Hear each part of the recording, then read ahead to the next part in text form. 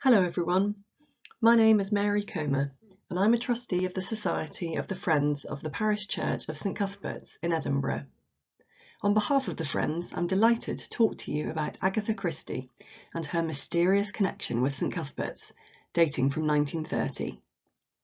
But first of all, let's take a look at Agatha's life up until 1930. Agatha Miller was born on 15th September 1890 into a wealthy upper middle class family in Ashfield, Torquay, Devon. Her father was American and travelled a lot for his business.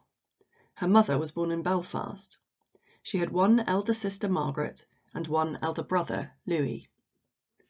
Agatha always described her childhood as very happy. Unlike her siblings, she was not sent to boarding schools abroad, but was educated at home by her parents. She was a voracious reader from an early age. She spent most of her childhood apart from other children, which probably helped to develop her imagination. At the age of 10, she wrote her first poem. Agatha met Archibald Christie at a dance given by Lord and Lady Clifford at Ugbrook, about 12 miles from Torquay. Archie was born in India, the son of a barrister in the Indian Civil Service. He was an army officer who was seconded to the Royal Flying Corps in 1913. The couple quickly fell in love. Upon learning that he would be stationed in Farnborough, Archie proposed marriage and Agatha accepted. With the outbreak of the First World War in August 1914, Archie was sent to France to fight. They married on the afternoon of Christmas Eve 1914 at Emmanuel Church in Bristol, which was close to the home of his parents, while Archie was on home leave. Rising through the ranks, he was eventually stationed back to Britain in September 1918 as a colonel in the Air Ministry. Agatha involved herself in the war effort too. After joining the Voluntary Aid Detachment in 1914, she attended to wounded soldiers at a hospital in Torquay as a nurse. She performed 3,400 hours of unpaid work between October 1914 and December 1916.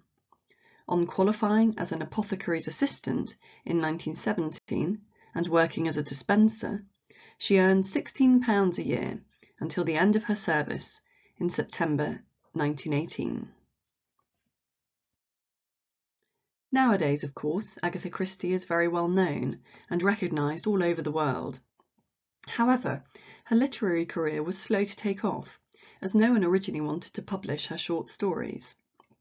Her life changed rapidly during the time she served as a nurse, tending to troops coming back from the trenches. During that time, she met a man who was apparently hardly more than five feet tall. His head was exactly the shape of an egg, and his moustache was very stiff and military. The man was from Belgium, and in him Agatha had found Mr. Hercule Poirot, her most famous character. The first novel featuring the Belgian detective The Mysterious Affair at Styles was written in 1916 and first published in the US in 1920 and in the UK in 1921. It was a huge success and Agatha Christie was launched. After the war, Agatha and Archie Christie settled in a flat at 5 Northwick Terrace in St John's Wood, London. Agatha gave birth to her only child, Rosalind Margaret Hicks, in August 1919 at Ashfield, where the couple spent much of their time, having few friends in London. Archie left the Air Force at the end of the war and started working in the city, while Agatha published further novels and short stories. In order to tour the world promoting the British Empire exhibition, the couple left their daughter Rosalind with Agatha's mother and sister. They travelled to South Africa, Australia, New Zealand and Hawaii.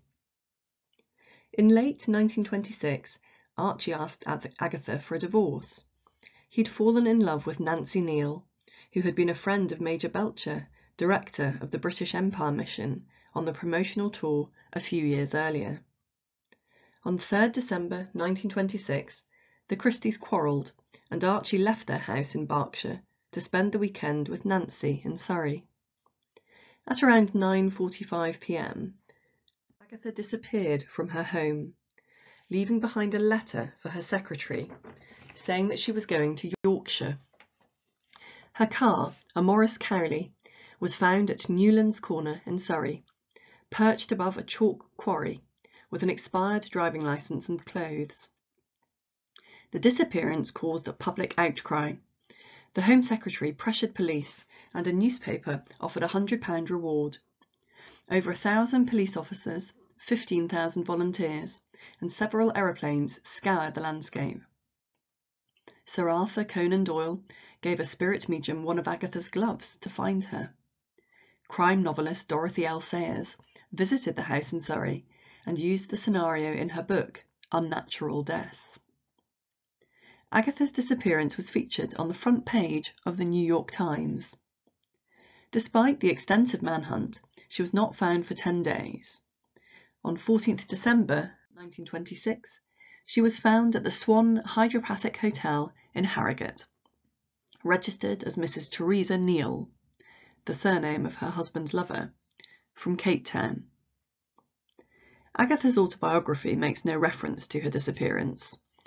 Two doctors diagnosed her as suffering from amnesia, yet opinion remains divided as to why she disappeared. She was known to be in a depressed state from literary overwork, her mother's death earlier that year, and her husband's infidelity. Public reaction at the time was largely negative, suspecting a publicity stunt or an attempt to frame her husband for murder. The Christies were subsequently divorced, with Agatha retaining custody of her daughter and the Christie name for her writing. One of Agatha's lifelong ambitions had been to travel on the Orient Express, and her first journey took place in the autumn of 1928. Persuaded by a chance dinner party conversation, Agatha set off for Baghdad, and from there travelled to the archaeological site at Ur, where she became friends with the Woolleys, who ran the dig. Invited back the following year, she met the 25-year-old archaeologist in training, Max Mallowan, who was to become her second husband. Asked by Katharine Woolley to show Agatha the sights, each found the other's company relaxing. Their relationship was forged by travel. Max could rough it, and so could Agatha. Before we go into more detail about Agatha's marriage to Max, let's shift our attention to the parish church of St Cuthbert's in Edinburgh, and in particular, its famous memorial chapel. St Cuthbert's is a parish church of the Church of Scotland in central Edinburgh. Probably founded in the 7th century, the church once covered an extensive parish around the borough of Edinburgh. The memorial chapel is at the westernmost end of the church building. As you enter it, you are stepping out of the current building, which was completed in 1894, and into the base of the tower of the previous church, which was built in 1775. After new doorways in the north and south walls of the new church were created, this space fell into disuse. It was subsequently remodelled to the design of MacGregor Chalmers as a memorial to those who died in the First World War. The space was consecrated as a chapel in 1921. The dedication of the chapel reads, To the glory of God and in memory of the men of St Cuthbert's who fell in the war 1914 to 1918, this chapel is dedicated. Greater love hath no man than this, that a man lay down his life for his friends. It is thought that this is on or very near the original site on which St Cuthbert, a 7th century monk, built his original hut on a journey from Melrose. This marked the beginning of Christian worship on this site. Here we can see the curved apse walls around the communion table, which are inlaid with beautiful gilt mosaic. The other walls of the chapel are covered with Swedish green marble slab panels. A small encased sloping support on the east wall bears the roll of honour, and on the wall panels are inscribed names of the 157 St Cuthbert's people who died during the First World War. The window in the north wall, behind the communion table, depicts Christ's crucifixion, which we remember on Good Friday each year. Gathered around his cross are shown his mother, Mary, dressed in blue, and some of the other women who followed Jesus. Also the disciple John, recorded by the Bible writers as the only one of Jesus' disciples with the courage to be present at his crucifixion. The chapel also features small, beautifully decorated ornate tiles in a variety of designs, inlaid into the marble below each list of names, and a beautiful plasterwork ceiling. The memorial chapel is special and very beautiful. But what were the circumstances that led Agatha Christie and her second husband-to-be to get married there in 1930? First, a little bit of background information about Max. Born in Wandsworth in 1904, Max was the son of Frederick Mallowan and his wife Marguerite, whose mother was mezzo-soprano Martha de Vivier. He was educated at Rokeby School and Lancing College, where he was a contemporary of Evelyn Waugh, and studied classics at New College, Oxford. Max first worked as an apprentice to Leonard Woolley at the archaeological site of Ur from 1925 to 1931. As we know, it was at this site that he first met Agatha Christie. In 1932, after a short time working at Nineveh with Reginald Campbell Thompson, Max became a field director for a series of expeditions jointly run by the British Museum and the British School of Archaeology in Iraq. Following the outbreak of the Second World War, he served with the RAF Volunteer Reserve in North Africa and after the war he was appointed Professor of Western Asiatic Archaeology at the University of London in 1947. Max was appointed Commander of the Order of the British Empire in the 1960 Queen's Birthday Honours and knighted in 1968. In 1971, Agatha was made a Dame for her contributions to literature. They became one of only a few married couples at the time who each of whom held knightly honours in their own right. Well, back to 1930, and Agatha went to great length to keep her second wedding a secret.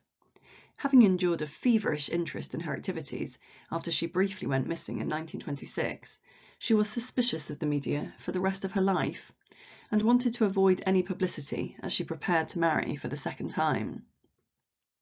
In her autobiography, which was published after her death in 1976 at the age of 85, Agatha wrote, I had had so much publicity and been caused so much misery by it that I wanted things kept as quiet as possible. We agreed that Carlo and Mary Fisher, her friends, Rosalind, her daughter, and I should go to Skye and spend three weeks there. Our marriage banns could be called there, and we would be married quietly in St Columba's Church in Edinburgh.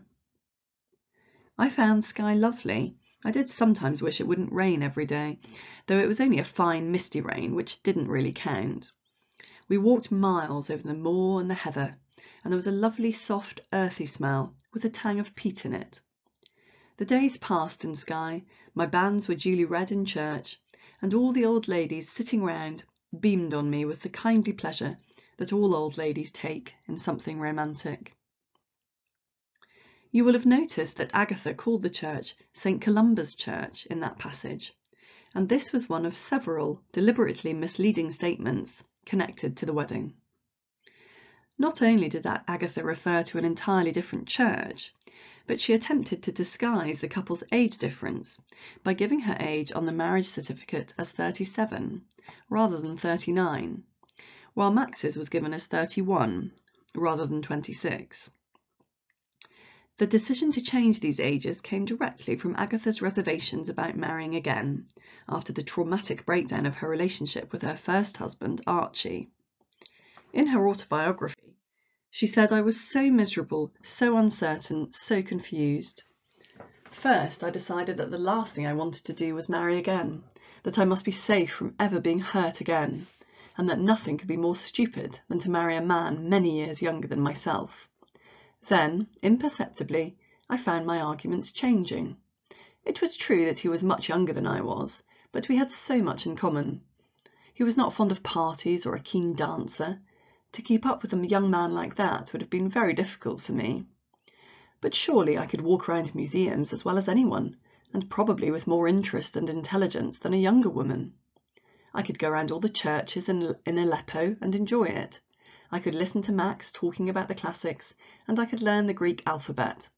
In fact, I could take far more interest in Max's archaeological work and his ideas than in any of Archie's deals in the city. Agatha spoke to countless friends and relatives, asked for their opinions, and heard both sides of the argument before deciding to take the plunge. As the ceremony approached, the secrecy was maintained by Agatha and her friends and if she had feared there might be any invasion of her privacy, all the clandestine arrangements reaped a positive result. Not even the most tenacious investigative journalist had a clue that it was happening. Her stay in Skye and serving of the banns in Broadford went unnoticed. Thus it was that the marriage ceremony took place on 11th September 1930, conducted by the Reverend George MacLeod, who later became the moderator of the General Assembly and founded the Iona community. Inside the church there is a copy of the marriage certificate which declares on 11th September 1930 at St Cuthbert's Church, Edinburgh, after banns according to the Church of Scotland, Max Edgar Lucian Mallowan, bachelor, age 31, of Cornwall Gardens, London, the son of Frederick Mallowan, produce broker, and Marguerite Mallowan, maiden surname de Vivier, and Agatha Mary Clarissa Miller or Christie, age 37, divorced from Colonel Archibald Christie. Agatha later wrote, Our wedding was quite a triumph. There were no reporters there, and no hint the secret had leaked out. Our duplicity continued because we parted at the church door. Max went back to London to finish his archaeological work on Ur for another three days, while I returned the next day with Rosalind to Cresswell Place. Max kept away, then two days later he drove up to the door in a hired Daimler. We drove off to Dover and thence crossed the Channel to the first stopping place of our honeymoon, which was Venice. The whole occasion may have been staged with a host of red herrings, and the couple might have been economical with the truth about their ages. But they were very happy and were subsequently together for the next 46 years. Indeed, Agatha joked about how she had forged an alliance with somebody who had the ideal vocation. She said the good thing about being married to an archaeologist is that the older you get, the more interested he becomes. One final note. In December 2017, the Society of the Friends of St Cuthberts were able to persuade the official website, agathachristie.com, to amend its text, officially identifying St Cuthberts as the real church in which the marriage took place, thus clearing up the mystery surrounding the venue once and for all. St Cuthbert's has now become part of a nationwide Christie Trail, with many fans visiting, often dressed in 1930s style ball gowns Art Deco inspired clothing, or even Poirot outfits. Well, that's the end of my talk on Agatha Christie and her mysterious connection with St Cuthbert's. Thank you for listening, and I hope you've enjoyed it. Goodbye.